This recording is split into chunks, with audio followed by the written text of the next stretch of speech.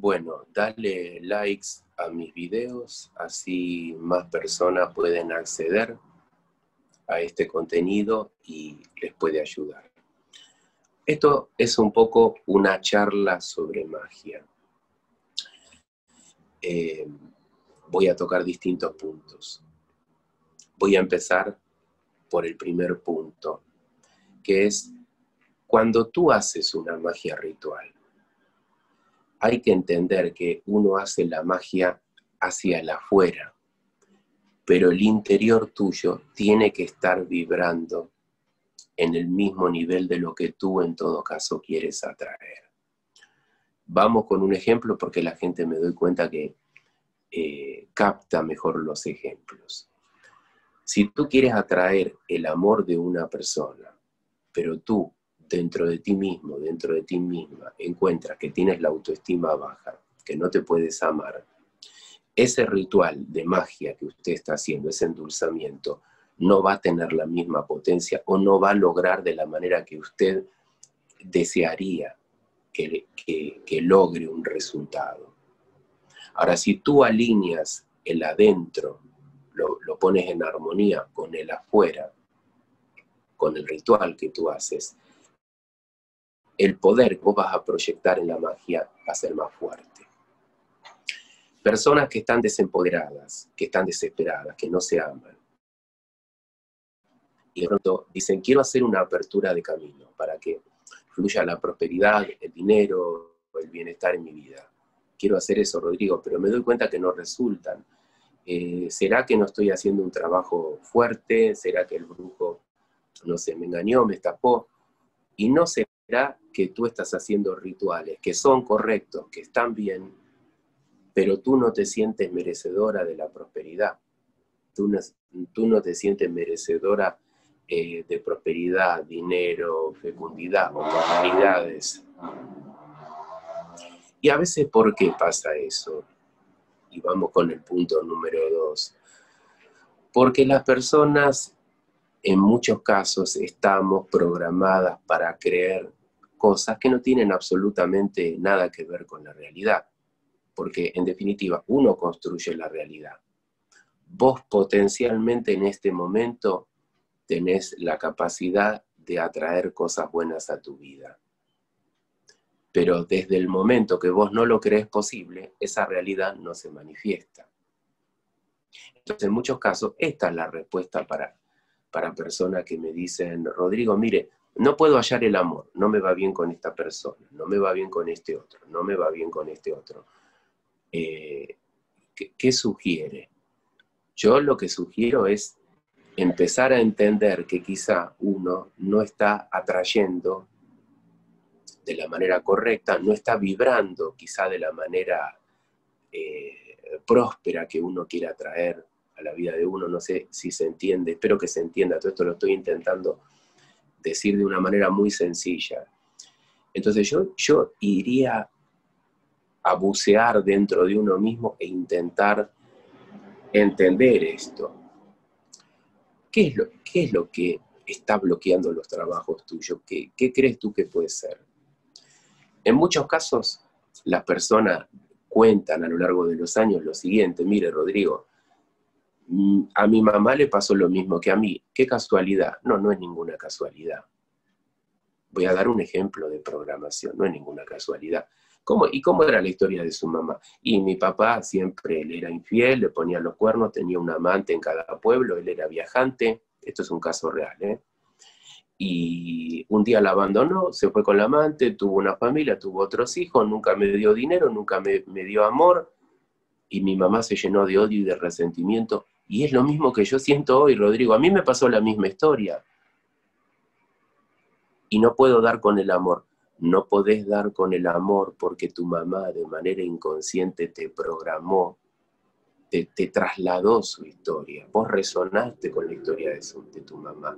Entonces estás programada para creer que vas a repetir la misma historia, que los hombres son todos unos cabrones, que los hombres son eh, mentirosos, infieles.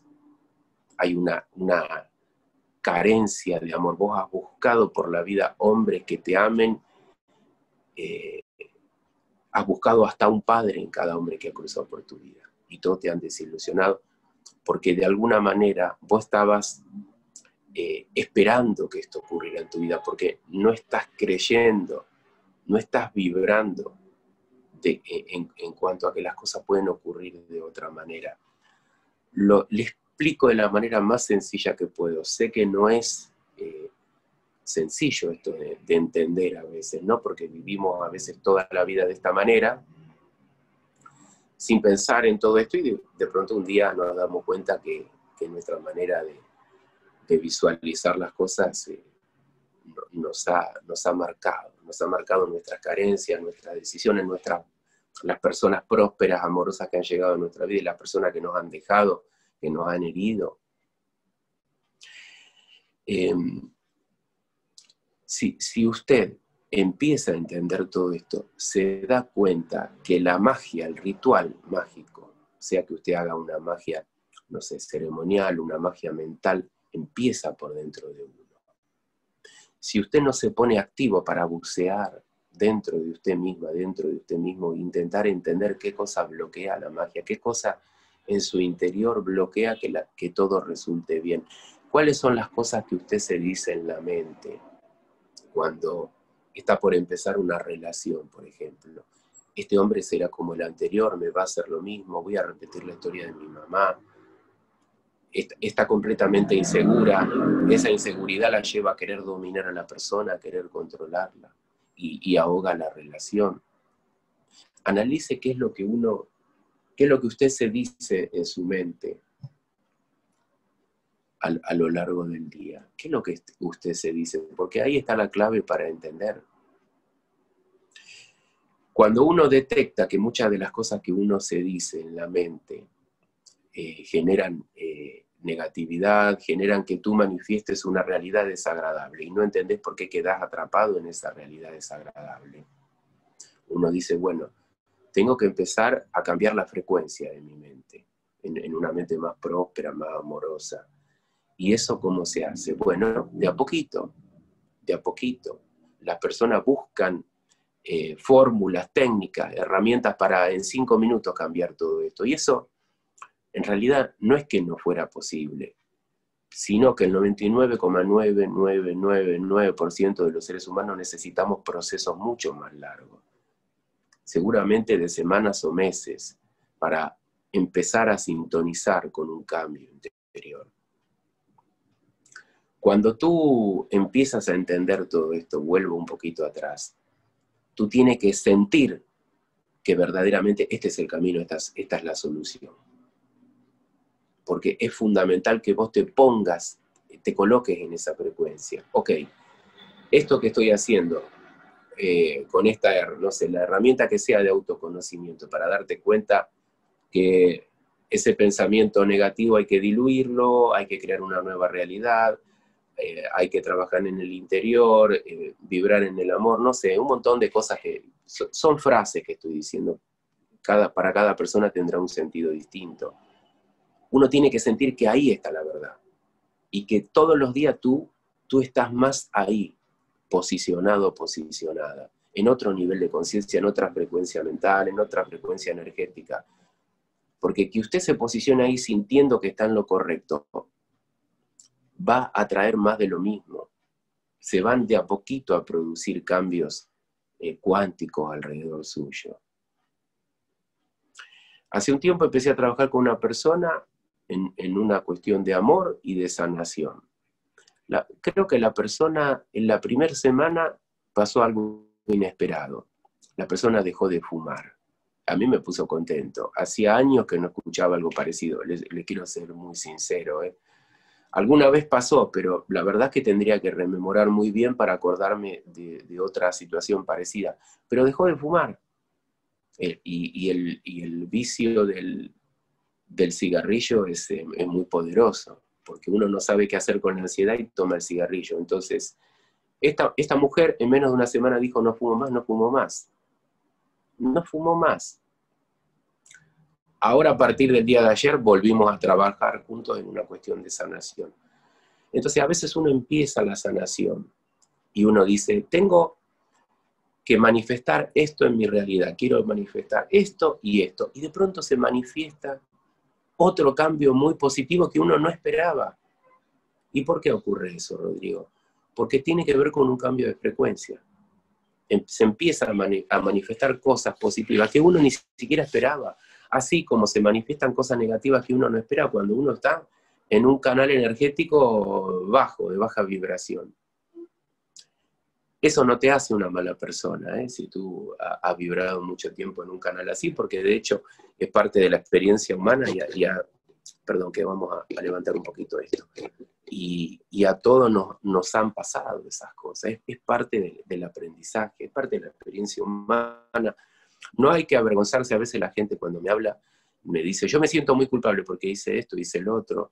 No tiene sentido quedar uno atrapado en la culpa porque si tú empiezas a, a sentirte culpable y a castigarte y a programar la culpa en tu vida, se te van a cerrar todas las puertas. Pero ¿quién me cierra la puerta? La cierras tú. Porque si uno se siente culpable, uno no se va a sentir merecedor de que le pasen cosas buenas, porque el que se siente culpable se quiere castigar. Y el que se quiere castigar a sí mismo o a sí misma, no quiere que le pasen cosas buenas. Para que pasen las cosas buenas, uno tiene que diluir esa culpa decir, ok, ¿cómo se diluye? Ok, cometí muchos errores. Recién hablé con un chico chileno que hizo un salamiento, eh, un amarre, un trabajo para desesperar y una serie de trabajos en magia negra desopilantes. Es una locura lo que hizo. Pero es que yo creía que el amor estaba ahí, Rodrigo. Bueno, eh, eh, va a empezar a experimentar una culpa más fuerte. Quedar atrapado en la culpa, hagas lo que tú hagas, no sirve tú te cierras la puerta. Lo que sirve es aprender, decir, a ver, esto no me hizo bien, esto no le hizo bien a ninguna, a ninguna persona, esto no le hizo bien a este, esto no le hizo bien a, la otra, esto no le hizo bien al mundo, esta energía que moví yo, pero esto es un aprendizaje. Entonces ya mismo empiezo a sintonizar la vida en otra frecuencia. Si tú haces esto, empiezas a darte cuenta, abres los ojos de una, abres los ojos de una, así, en un segundo, no voy a quedar atrapado en la culpa, me voy a transformar, me voy a transmutar, voy a, voy a actuar de manera distinta a como actúe ahora porque aprendí, se terminó, esto no lo hago más. Si no, voy a seguir manifestando una realidad, perdón la palabra, que es una cagada. ¿Y a quién voy a seguir culpando? ¿A este, al otro, a mí mismo, al universo, a Dios, al destino, a la brujería? No me hago cargo de mi vida.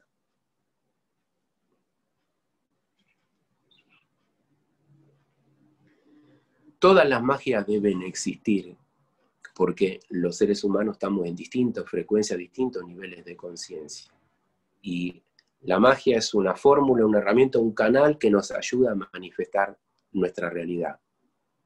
Pero si nosotros vamos cambiando la frecuencia, la vamos elevando, vamos a manifestar una realidad más amorosa, más iluminada, eh, con más amor, con más bienestar. Pero eso es porque lo dice usted. Que lo diga yo no sirve para nada. Yo no soy nadie. Yo soy lo mismo que usted, otro ser humano. Yo hago simplemente mi trabajo y transmito algo que yo siento que es mi misión en este mundo. Como usted tendrá la suya, como el otro tendrá la suya. Yo pasé por muchos estadios vibratorios, muy bajos, y ahora usted quiere decir, Rodrigo, que está en un estadio vibratorio muy alto. No, yo no estoy diciendo eso. Sino que experimenté los estadios vibratorios, el estadio de la mente, de las emociones, de la conciencia, la ira, el enojo, crear historias eh, absolutamente oscuras en la mente y proyectarlas sobre el mundo y atraer situaciones caóticas y culpar a los demás y que la brujería y que Dios y que el destino, hasta que uno de pronto abre los ojos y ve y empieza a ver las cosas. Entonces, todas las magias sirven porque las personas podemos abordar la magia o los caminos de la magia en distintos niveles de conciencia.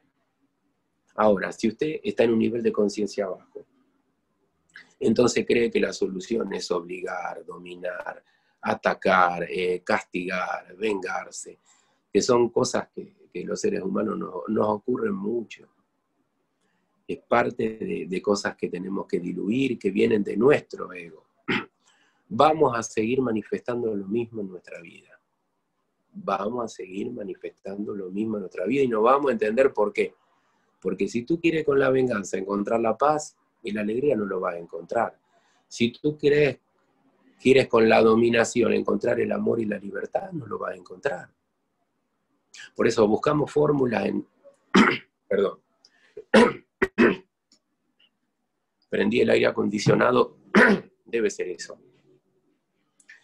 Si tú quieres dominando y doblegando a alguien, encontrar tu libertad, tu felicidad, una relación libre, feliz, donde la persona te elija todos los días sanamente, mira, no lo vas a encontrar para mí. Pero mi marido volvió, pero volvió a qué tipo de relación? Una relación pobre, baja en vibraciones, tóxica no me importa, pero él es mi amor. Bueno, ok, está bien, me parece que en tu nivel de conciencia esa explicación sirve. A mí no me serviría estar con una persona que amo mal o en una relación tóxica, porque eso me llevaría a cuestionar que mi amor es un amor tóxico, es un amor con una baja vibración. Entonces, uno donde esté posicionado, más arriba o más abajo, o en el medio, o del medio para abajo, o del medio para arriba, qué sé yo, donde uno esté. Hay que hacer lo mejor posible y uno es responsable de, la realidad, porque uno genera la realidad. Uno dice, yo pido a Dios, yo pido a los ángeles, yo pido a los seres espirituales, yo pido a los chamanes, a los brujos, a los animales de poder, a los seres de luz, que esto sea de esta manera o la otra. Yo le digo, usted genera su realidad usted genera su realidad. Deje de pedir, usted genera su realidad.